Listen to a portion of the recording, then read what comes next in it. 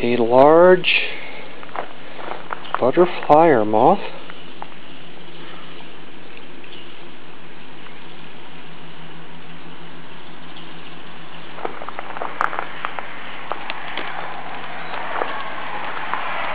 Oops.